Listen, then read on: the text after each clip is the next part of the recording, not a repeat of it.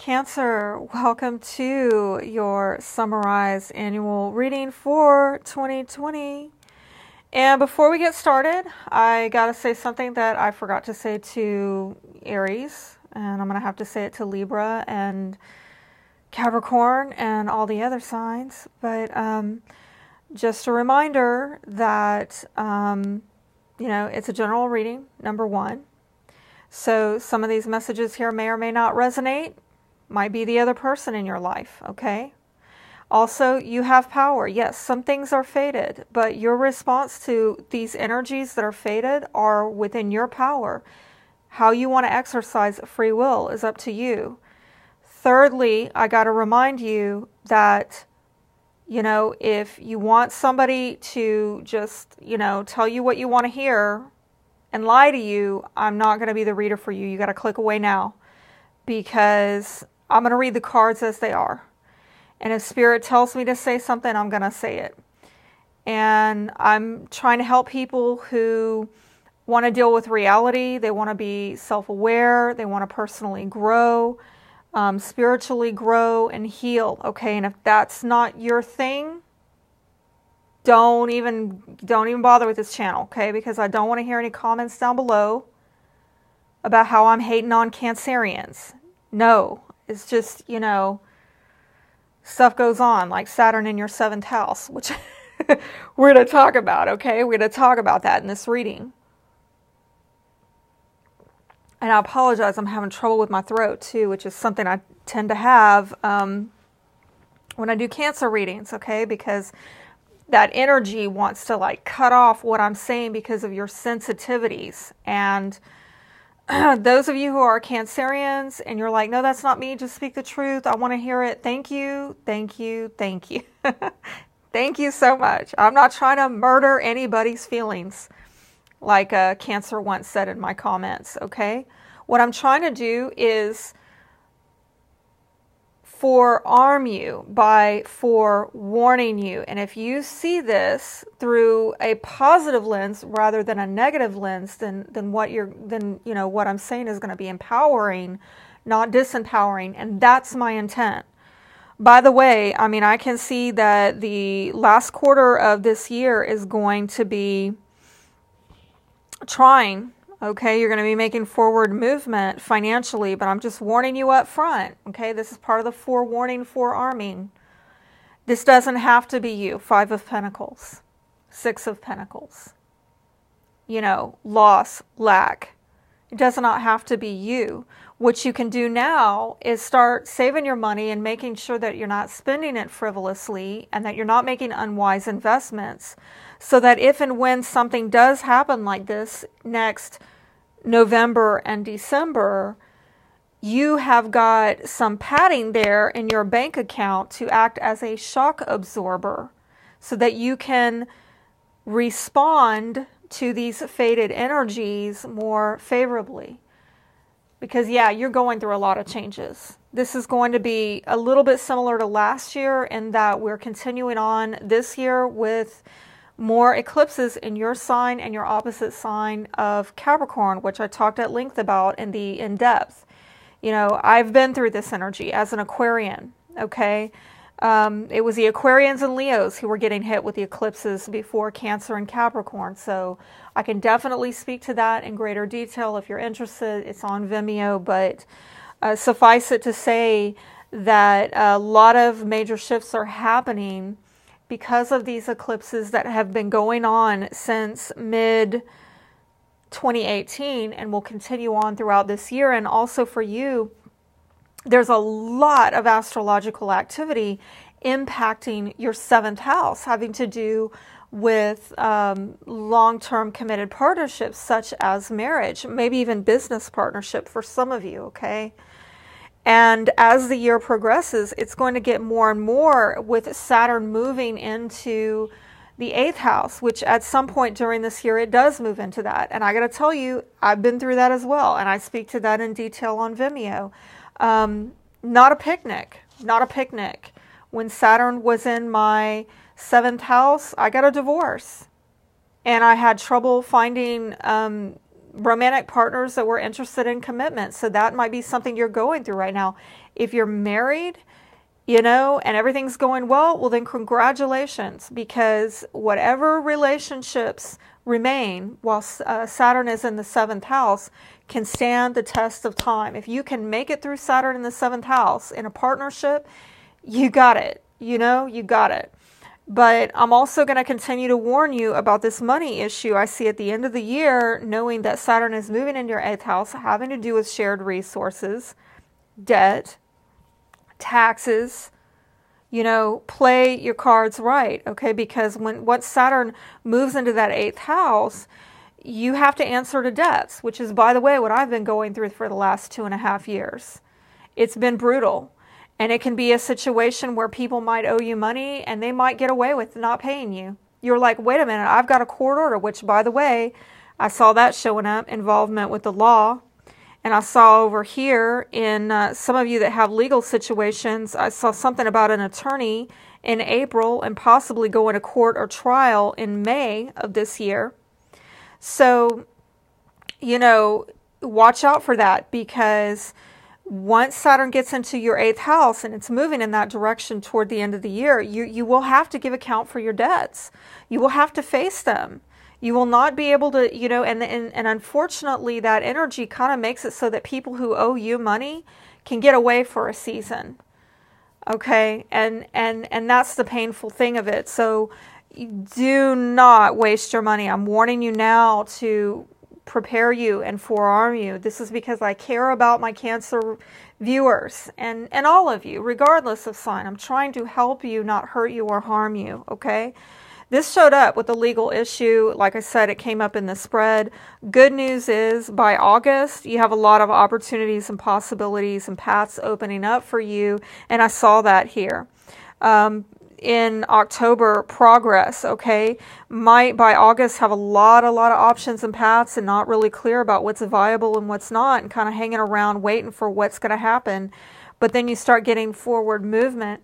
And look at this fated change. This year, some of you are going to deal with an ex coming back, okay?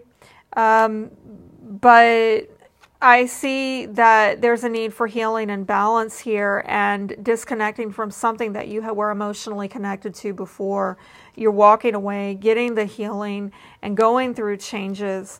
I think some of these changes are going to be difficult, um, you know, the first half of this year, but I see it getting better on the money end, though.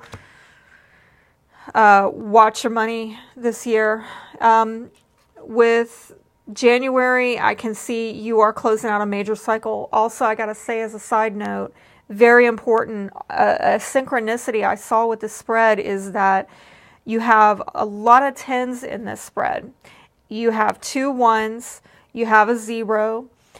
So tens are about completion. By the way, the world card is about completion. You come into this year where it's like you got to integrate some lesson. You got to close something out with this world card. And I see it all throughout this year, the tens showing up. Um, the good news is that by this August time frame that I saw, um, definitely you have a new beginning, possibly a new partnership, and it might be with someone from your past. Um, others of you, you're like, oh hell no, and they're saying hell no back at you, you know. But it's it's a general reading, so um, you take what applies and discard, you know, what doesn't. But I do see that definitely um, this is about partnership. Okay, this there's some lesson that you're having to integrate, maybe patterns of behavior in partnership where there's been some kind of restriction going on. Uh, where you let your mind get in the way of, of doing what you know you need to do in partnerships, like maybe walking away from somebody that you know you need to, um, that you don't share values with. Maybe again, looking at shared values really um, that's the energy for January. Now, February, Messenger of Water might have a romantic offer coming in, but it's almost like something is on hold. Somebody's waiting and being burdened by being put on hold.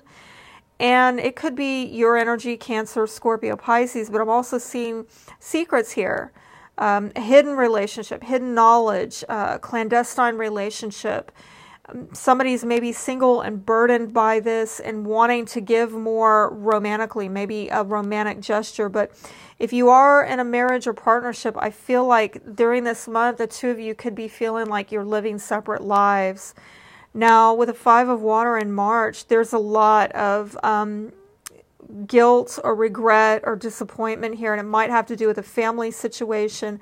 I really think that for most of you, it has to do with some indecision in, in regards to a matter of a heart. Uh, I think a lover for many of you, where there's been strife over some duplicitous uh, behavior, a lack of authenticity, and a lot of grief. Somebody's feeling very disappointed and regretful and sorrowful about something. It's in the past, okay? Now, in April, I can see with the King of Fire, this could be of Aries, Leo, Sagittarius, and I'm also seeing a an uh, air sign Aquarius, Libra, Gemini. Uh, maybe getting some solid new beginnings. Some of you may be getting to a new home, a new job during this particular month. But I'm also seeing with the two kings here, it might be two bosses. And I talk more about this workplace issue on Vimeo because these can represent different industries like business, communications, travel with the air sign. I mean, with the with the fire sign and with the air sign, this could be a legal issue. I got to say that I saw there. There's maybe an attorney here at play. Somebody is um, really passionate about something. If this is a legal situation, like I said, by May, I can see possibly this going to trial or going to court and it might involve an earth sign Taurus, Virgo, Capricorn. I'm definitely seeing an issue here with a lack of mutual effort, and somebody needing to make plans and decisions for um, a partnership. But I, I feel like if there's any, if this is a, say, a divorce or a separation going on during this time, it's been because of one sided giving. And I see that all throughout this year. I'm even seeing it over here in June with the Ten of Fire, somebody's dealing with a lot of burdens and you know heavy duties and responsibilities and burdens, and it might have to do with career and family. But somebody's also maybe, um, if it is family, it might be a child, an Earth sign, Taurus, Virgo, Capricorn. But I feel like somebody's very much about their um, self love and what they're doing to, um, you know, get love for themselves is maybe putting themselves and another person or possibly a child under some kind of heavy burden. Now, with a messenger of earth, could be Taurus, Virgo, Capricorn yet again, but I'm seeing steady uh, progress and improvement with your finances. And yeah, maybe communication coming in. I got some weird messages, okay? I got some weird messages that if you if you are taking a job during June, yeah, with that Knave of Pentacles, that might be a job, a new job starting, but then by July, putting out a job application. So I got some weird stuff like somebody is either they got a new job and then in, in, in, they got a new job in June and then in July they hear back from somebody to say, oh, we'd like to hire you. And, they, and then, you know, they have to say, I'm sorry, I already took another job elsewhere. I'm no longer available. Or they take a job somewhere and they realize, uh, this is too much burden, too much responsibility. This is not good for me, myself and I, my career, my family. And they realize um, they need to, you know, put another job application out or apply for a different position so that they can get the forward movement and progress that they want. I am seeing also again in June, maybe another child is involved here fire sign Aries, Leo, Sagittarius and I've definitely seen Leo prominent, and there's some kind of resistance issue that somebody is resisting something or holding back, and it might have to do with a commitment or um, emotional issues that need to be addressed with this fire sign or this earth sign. And then in August, with the seven of water, it looks like you have a lot, a lot of options, but not sure what is viable and what isn't. Not sure how to manifest your ideals in reality. You might have a lot of choices romantically uh, with offers coming in, but I see somebody burying themselves in their work or they're working hard on getting some offers because I also feel like whatever is being offered to you romantically is kind of airy fairy, kind of idealism in your imagination type energy. I don't really see the offers being very substantial. It's almost like there's some d- discretion or shame or guilt or holding back. In, in some level, somebody's not clear about something, even though maybe they're fantasizing about it. And then by September with a hangman, it's it's almost like there's somebody somebody here is not giving or getting a commitment. They're having to get a new perspective. Something is being left in suspense, on hold, maybe needing to sacrifice something. And it might have to do with a nostalgia, somebody from the past, perhaps a fire sign, Aries, Leo, Sagittarius, or this woman who is like a very much a seductress, a vixen, okay? Um, somebody is very much nostalgic during this month. I saw it with the astrology as well. And let me see if it's getting a bit dark in here. So I help y'all to see. So, with this hangman, things are on hold, and it's probably is not going to be a good month to make any commitments. But in the next month of October, you get some forward movement, and this might involve a Sagittarius, if not you. I definitely see progress going on, and it might have to do with someone who you've gone back and forth with. You know, you were coming together, and then you were falling apart, you were understanding each other, and then having misunderstandings. And now there's a time to, you know, start something new, get a new beginning with this relationship where you're maybe going with the flow and getting some kind of recognition and honor. Others of you may be moving, maybe traveling, having people who are traveling in your home this month, but definitely getting some in the spotlight in some way, getting some recognition or honor in some way. Although I can see that, that some of you are really uh, confident in getting progress, and I did see a warning with this card be careful that you're being very grounded and in reality, okay, with this confidence. Confidence is great. You know, optimism is great, but not when it's false, right?